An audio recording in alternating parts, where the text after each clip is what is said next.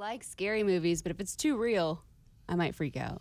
Like the movie The Strangers, I didn't like because that's real. Like people break it in your home just Oh, because like you were the, home. purge, yeah. the purge and stuff.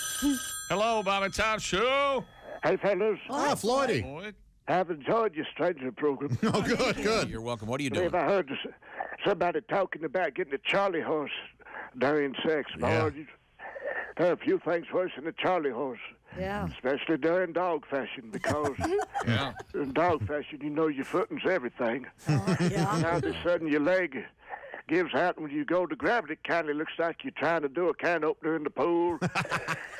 I've tried to increase my intake of calcium pills, you know, to help with it. Calcium pills? That's what I it eat is? my think it's grapefruit potassium. regular, but Good. Yeah. I'll tell you, an old-fashioned Charlie horse will come up on you quick. There's rarely much heads up on it. I find it's best to go about it like you're driving in the rain and kindly pump the brakes. But the worst part is, if you jerk too fast or try to tend to it, the horse thinks you're trying to pump and run without paying. And oh. uh-huh. boy, it's hard to get back in the mood after she threatens to tell your kids. Boy, boy, it sure is.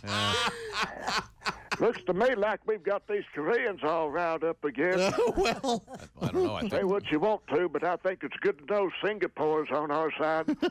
good night. Thanks. Hi, Floyd. yeah. That was certainly enlightening. Oh enlightening. boy. It's amusing.